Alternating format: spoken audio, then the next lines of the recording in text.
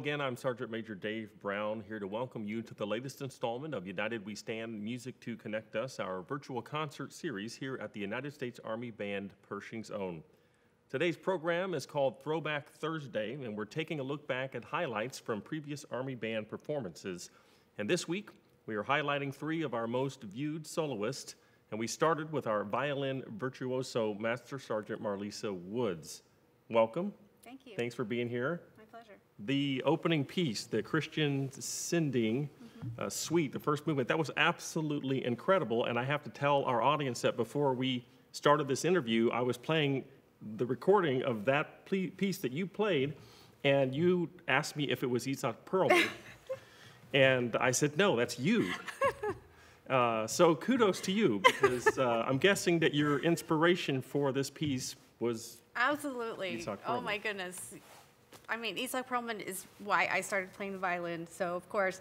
But he's, his recording of that particular one is just really famous, and so it really inspired me a lot. So, how long does it take to learn a piece like that? Something like that.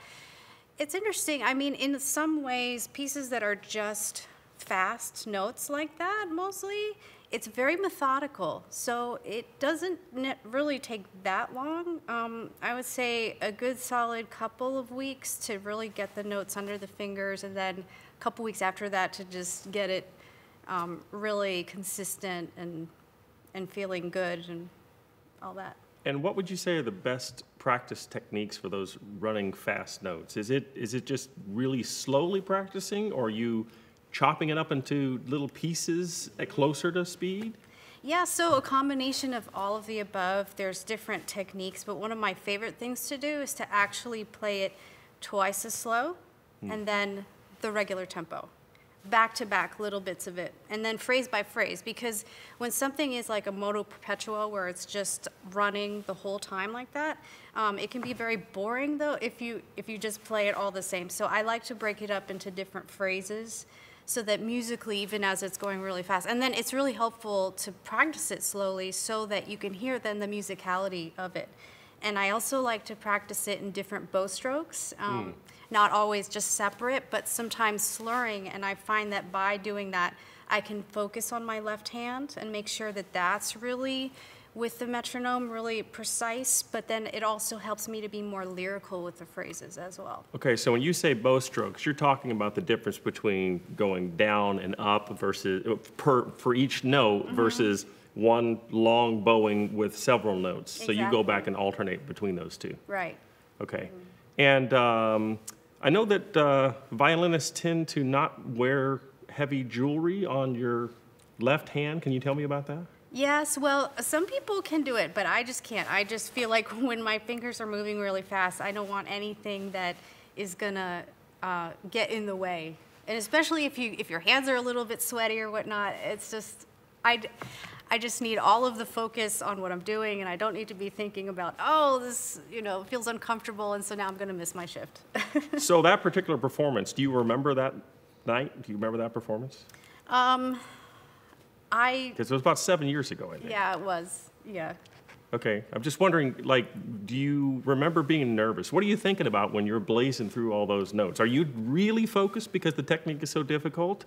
Are you, have you learned it so well that your mind is wandering or you're thinking about something else? I mean, what's going on in your head when you're doing that? Yeah, when it's really that fast, I have to really focus and hone in really, really hard. And I kind of, um, the other thing is just as a performer, just blocking out negative thoughts, you know, because there's always going to be that negative thought. And so, in a way, like when I'm practicing, um, I will actually practice thinking a negative thought and, and being able to overcome it as I'm practicing so that I'm so that when that happens in performance, you know, I, I'll be like, oh yeah, I, you know, punch you out, and I'm gonna just, you know, keep going and keep thinking positive thoughts and, you know, keep the train running. So anticipate the fact that your mind might tell you, oh my gosh, I'm about to miss a note, and be ready for that moment so it doesn't Exactly. freak you out. Exactly. That's great. Well, we're going to hear one more blazing fast violin solo. I think it's pretty a pretty famous fiddle solo. Can you tell us about what we're going to hear next? Yes, so actually, I was really inspired by Mark O'Connor, another virtu- virtuoso in his own right. Um, the dude is just amazing how fast he can play. And um, so his version of, of Orange Blossom Special is really cool because he has all these fun quotes in it. And so I stole that idea and I put some some of Army quotes in this version.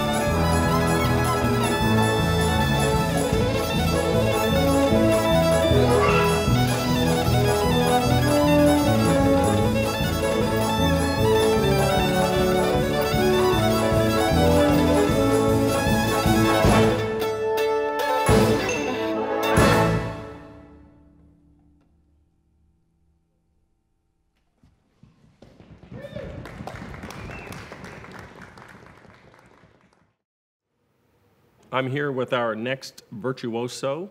That's Staff Sergeant Chaz Sonoda here on Throwback Thursday. Welcome. Thanks for having me. Thanks for being here. First question Where did you grow up? Where are you from? I'm originally from Torrance, California, and uh, I grew up there and then went to high school in Interlochen, Michigan. Uh, my last two years of high school were at the Interlochen Arts Academy. And uh, after graduating there, I moved to Chicago, where I studied at DePaul University for my undergrad and the Northwestern for grad school. So I'm curious how long you've been playing the clarinet. When did you start playing, and can you tell us how you picked that instrument? Sure. Um, so I started the clarinet in fifth grade. Uh, there was a band option at our, our school, and um, someone had come to demonstrate some of the instruments. And I, for some reason, had really liked the oboe. I think, I think it was the duck demonstration in Peter and the Wolf that really got me. Got it. Um, however, the oboe ended up being like twice as much in price, and uh, my parents didn't want to pay that much. They weren't sure if I was going to like it. So we went with the clarinet instead. And they saved you a lot of money in reeds, probably, Yeah. doing that as well. So uh, we're going to feature a solo you played a few months back in February at a concert with a concert band. So tell us about this solo and this piece of music. Sure. So the concerto is titled Brooklyn Bridge. Uh, it's by a composer named Michael Daugherty, who's on faculty at the University of Michigan. And this piece is broken up into four movements. And basically, um, his inspiration for this piece is a quote that is uh, something along the lines of The wise person won't cross the Brooklyn Bridge in five minutes or even 20 minutes, but instead will linger on the various views um, you can see around the bridge. And so the four movements are each titled different direction. Uh, the one that we performed on that concert is titled North. And so the inspiration is looking north from the Brooklyn Bridge, you see Manhattan, um, the skyline at the time, which he's kind of setting in the 1940s, would have been the Empire State Building, Chrysler Building, uh, Rockefeller. And uh, these were really the tallest buildings at the time. And um, also in the 1940s, you can think uh, jazz clarinet, Artie Shaw was huge in New York City. And so it's kind of set in this sort of clarinet, 1940s jazz setting. Um, the tall buildings, you'll kind of hear, uh, we're really playing in the stratosphere of the clarinet. Uh, it's a very exciting piece. It's a ton of fun to play with the concert band. So what is the range? How many octaves are you going through on this piece? And how does that relate to some other solos you've played? Sure. Um, wow. I think probably getting close to four octaves. Wow. Um, which is more than I've played on any other piece in my life. Okay. Um, I, I definitely had to contact my old teacher from grad school actually to get some fingerings for this piece. Um, by the end of the piece, uh, the clarinet's really screaming at, at the highest register. Uh, the piece kind of starts out in a very comfortable range for the clarinet. I think you'll, you'll find it to be, it, it's pretty easy to listen at the beginning. Uh, and as it progresses, it gets faster and faster and higher and higher. And by the end, we're, we're at uh, basically the highest notes of um, the kind of extreme range of the clarinet. So uh, I remember this solo. I was there, and it was great. The audience went crazy for it. Uh, I'm just curious. I, I watched you play, and I thought this is incredible. I, I know you practiced a long time. How long did it take you to put this solo together? And are there any special practice techniques you used in order to make this what it was? Sure. Um, I probably spent about three or four months preparing for that concert. Um, special techniques, slow practice. Um, there's so many difficult passages in this piece that I would just tell myself I'm going to play it 20 times perfectly every day the month before the concert. And uh, something that helped me quite a bit is actually that I played for a few of my colleagues here um, in the clarinet section at the band, as well as some colleagues from the other military bands, uh, to give myself kind of a, a practice performance run, uh, even before the first rehearsals. That's great. Well, I know the audience loved it, and I think that our online audience is going to love it as well. So be prepared to be wowed by our virtuoso clarinetist, Staff Sergeant Chaz Sonoda.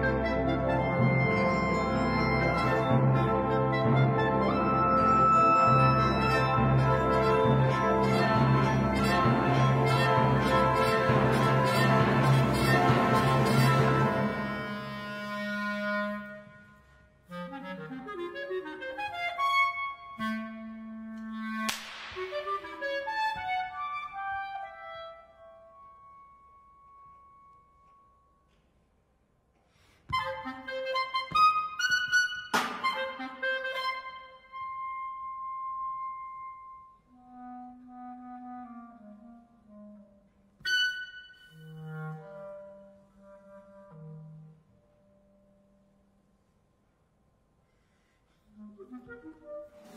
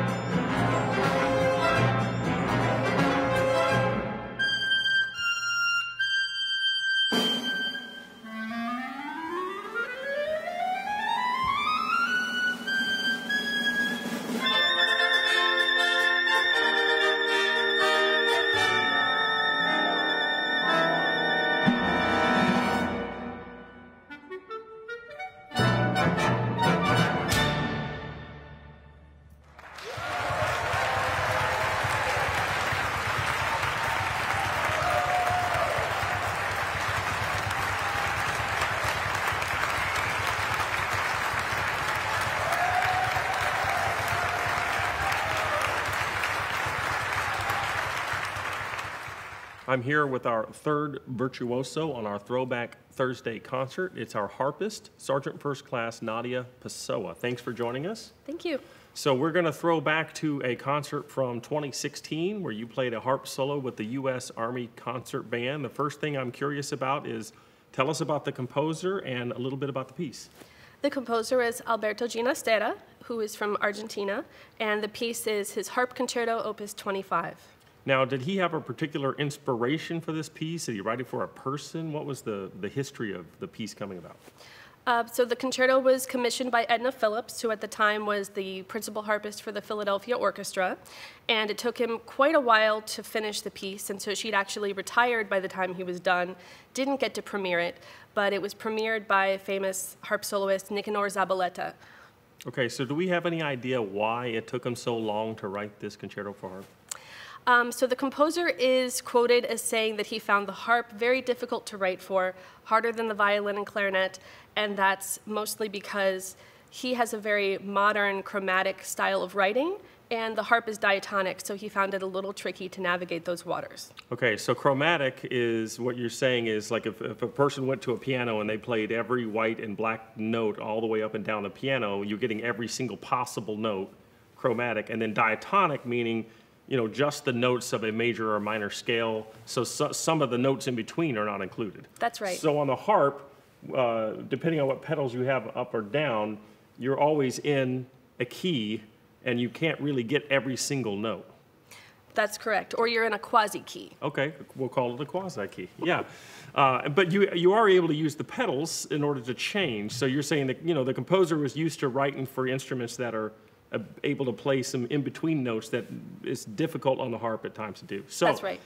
Um, I know this composer is famous for having some unique rhythm styles. Can you tell us about the rhythms in the piece or the, or the meters? Sure.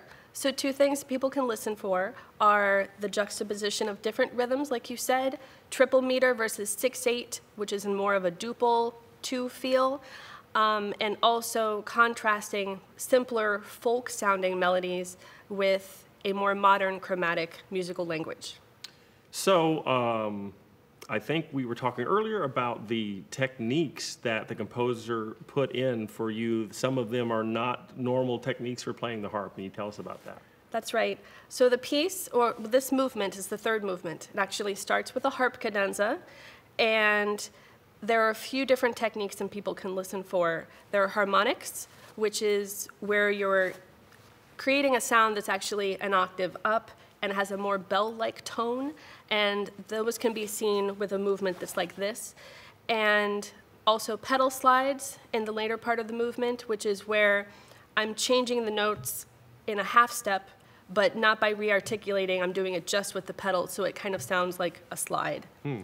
And also glissandos, but instead of glissandos with the fingers, which is what you normally see, he has called for some nail glissandos, which is a special effect and gives a more percussive sound.